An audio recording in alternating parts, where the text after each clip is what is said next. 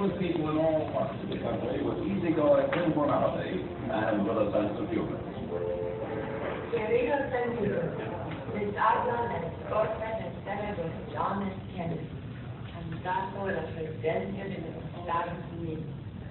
En estos tiempos de tanto peligro, cuando la paz mundial se ve amenazada por el comunismo, es necesario tener